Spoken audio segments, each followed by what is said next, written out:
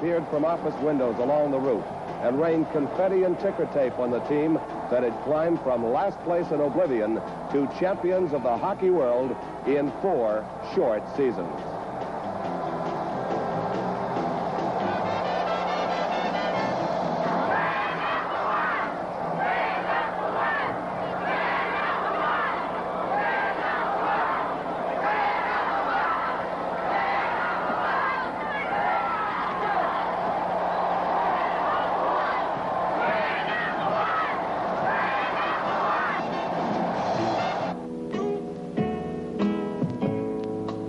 Sinden greeted the group on behalf of the Boston Bruins as coach of the club. The presenters of the awards were all former winners themselves. Cooney Weiland, who won the scoring title as a member of the 2930 Bruins, presented the Art Ross Trophy to Bobby Orr, the first of three top awards that Bobby won this year. Former All-Star defenseman and Hall of Famer Red Kelly, now coach of the Pittsburgh Penguins, hands over the Norris Trophy to Bobby, Bobby's third straight year as top defenseman.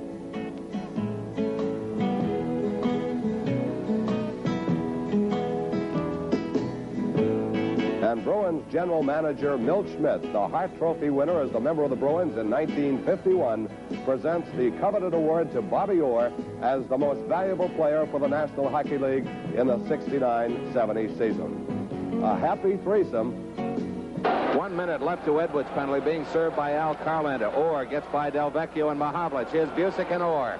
Orr spun around by Bergman. Still has it. Backhanded. Kicked out by Edwards. We've got a penalty coming up. Orr is down and hurt. And so is Frank Mahovlich. They're both down and slow to get up as they collided. Mahovlich on his knees, as is Bobby Orr. And, of course, Bobby Orr has a history of knee problems over his illustrious career. Let's hope that neither one is seriously injured. The game needs the caliber of a Mahovlich and a Bobby Orr. Mahovlich is up being helped out. John?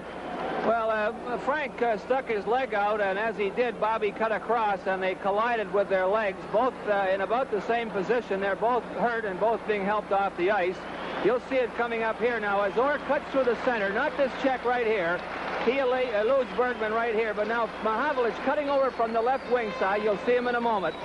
He's coming right into your camera right now. Here he is and he cuts across. He sticks his right leg out right here, and he and Orr collide. There's the leg going out.